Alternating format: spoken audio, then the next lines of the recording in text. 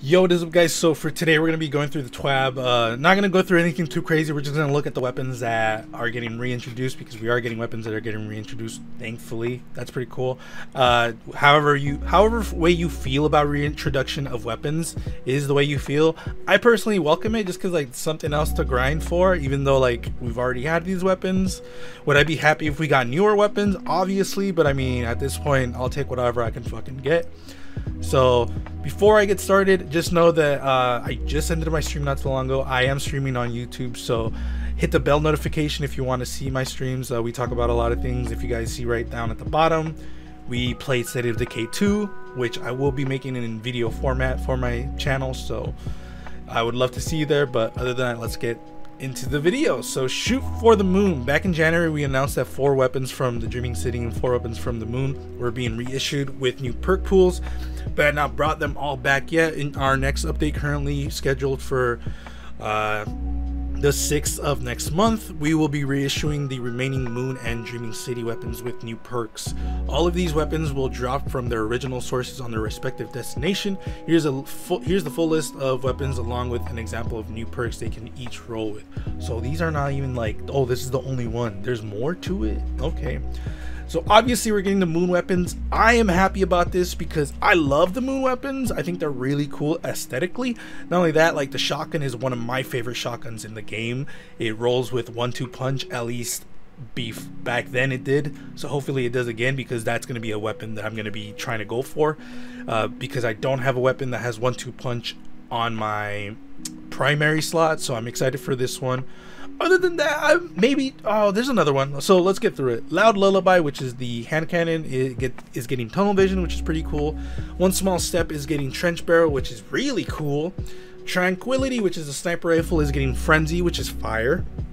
Arc Logic, which is the assault rifle or auto rifle, whatever you want to say, is getting heating up, which is I mean uh, we'll see.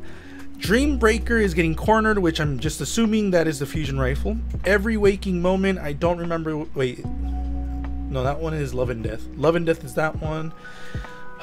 Every waking moment, which one is that one? Um, obvious. Oh, it might be the. It doesn't matter. Uh, Every Waking Moment is getting Killing Wind, which I'm pretty sure is the SMG. Love and Death is the grenade launcher we just saw, which is Chain Reaction. A Fine Memorial is getting Adrenaline Junkie, and Night Terror is is getting one for all. So I remember a few of these. I just don't remember like these two, and then every waking moment. It, every waking moment might be the SMG if I remember correctly, but these two are escape me with one. I think Night Terror might be the sword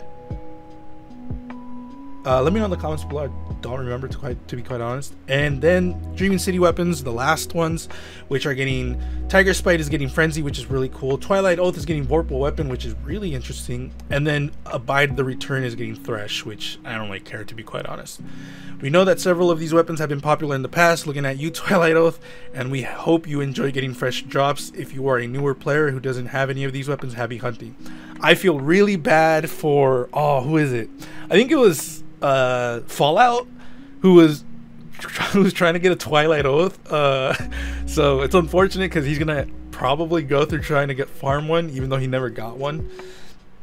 I ended up getting it. It was really cool. Unfortunately, you know, sunsetting happened, so I just erased it. But I'm I'm excited that Twilight Oath is coming back. I do like that sniper rifle. Um, one small step is definitely on my radar now. I love this shotgun. It's one of my favorite shotguns and Tranquility for sure is going to be on my radar. I love Tranquility, so I'm really excited for the Moon weapons, uh, specifically because like Arc Logic, I don't think we have an Arc auto rifle, if I remember correctly. At least off the top of my head, I can't remember. So that's cool that we're getting that. But other than that, honestly, guys, let me know what you guys think. Uh, are you guys excited for the renewal of weapons? I know a lot of people are going to be like, I hate it and I love it, which is super fair because like I want new stuff, but at the same time I do think that expansions should still hold value. So I do think like the weapons from from expansions should still hold value. Like I I know I said that twice, but like it's it's heartbreaking to see an expansion just become worthless. So for me, I like this. But yeah, let me know your thoughts in the comments below. If you guys want to follow me on my social media links are in the description below. Uh, I'm streaming a lot more, guys. Unfortunately, my arm still kind of hurts, so I can't stream as much. But I am trying to stream every day again, or at least whenever I can. So if you guys are ever in ever in the mood to watch me stream, I just hit the bell notification, subscribe, like, comment, everything. It all really does help. Um, I have a lot of things planned for the channel, so I will see you guys later.